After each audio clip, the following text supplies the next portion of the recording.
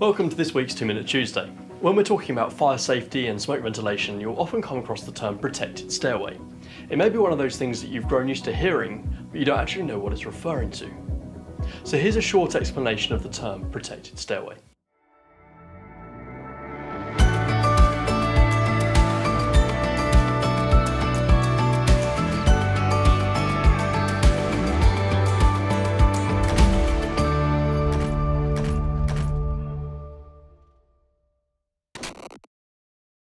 Approved Document B of the building regulations defines a protected stairway as a stair discharging through a final exit to a place of safety that is adequately enclosed with fire resistant construction. It also includes any exit passageway between the foot of the stair and the final exit.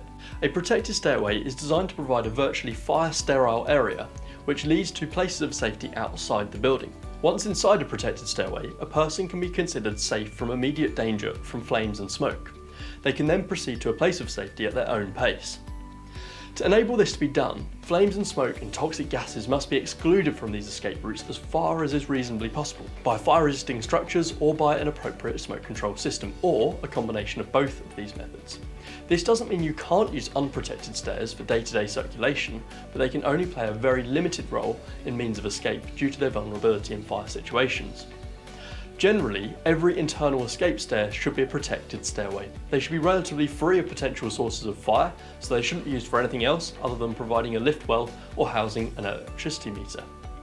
The enclosure of a protected stairway should have a fire resistance of not less than 30 minutes when tested in accordance with BS 476-21 or BS 476-22 or their European equivalents. All of these are listed in the description below for you. In a building designed for phased evacuation or a stair serving any storey more than 18 metres high, the stair should be provided with a protected lobby or corridor or a pressure differential smoke control system.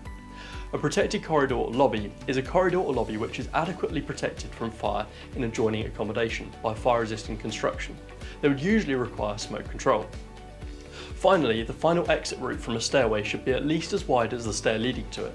There's more detail on that in BS 9999. I hope this whistle stop tour of protected stairwells has been helpful. If you have any questions, please drop them in the comments below. Thanks for watching. If you haven't already, consider subscribing to our YouTube channel. There's a link below for weekly videos like these. And as always, I'll look forward to seeing you next week. Bye for now.